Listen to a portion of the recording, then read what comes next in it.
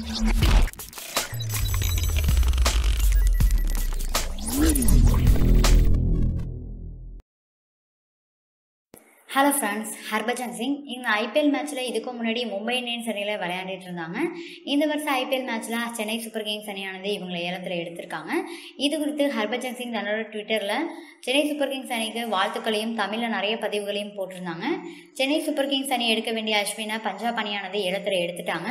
இதனால் Chennai super Kings அணியில் அஸ்வினோட இடத்த ஹர்பஜன் சிங் கண்டிப்பாக நிரப்புவாங்க அப்படின்னு ரசிகர்கள் மத்தியில் எதிர்பார்க்கப்படுது. இந்நிலையில் இலங்கை முத்தரப்பு டி டுவெண்ட்டி மேட்ச்சில் ஆறாவது லீக் போட்டி இலங்கைக்கும் பங்களாதேஷ்க்கும் நடந்துச்சு. இந்த மேட்ச் குறித்து ஹர்பஜன் சிங் தன்னோட கருத்தை வெளியிட்டிருக்காங்க. இந்த போட்டியில பங்களாதேஷ் அணியானது நடந்துகிட்ட விதம் வந்து ரொம்பவே தப்பானது அப்படின்னு ஹர்பஜன் சிங் சொல்லியிருக்காங்க. இந்த மேட்ச்ல பங்களாதேஷ் வீரர்கள் நோபால் குறித்த பிரச்சனையினால அந்த மைதானத்தை சண்டைக்களமா மாத்திட்டாங்க.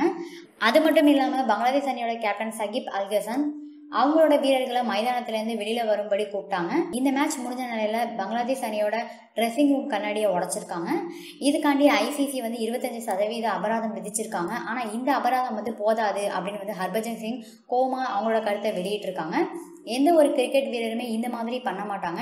என்னதான் கோவம் இருந்தாலும் கிரிக்கெட் போட்டியில எப்படி நடந்துக்கணும் அப்படிங்கிறது தெரியாம பங்களாதேஷ் அணி வீரர்கள் மற்ற அணி வீரர்களோட சண்டை போட்டிருக்காங்க. அது மட்டும் இல்லாமல் வரம்பை மீறி ட்ரெஸ்ஸிங் ரூம் கண்ணாடியும் உடச்சிருக்காங்க இவங்களுக்கு இந்த அபராதம்லாம் பத்தாது. ரெண்டு மூணு போட்டியிலிருந்து பங்களாதேஷ் அணி விளையாடுறதுக்கே தடை விதிக்கணும் அப்படின்னு வந்து தன்னோட கருத்தை கோவமாக வெளியிட்டிருக்காங்க. இந்த வீடியோ உங்களுக்கு பிடிச்சா லைக் பண்ணுங்கள் ஷேர் பண்ணுங்க. நம்ம சேனலை சப்ஸ்கிரைப் பண்ணுங்கள்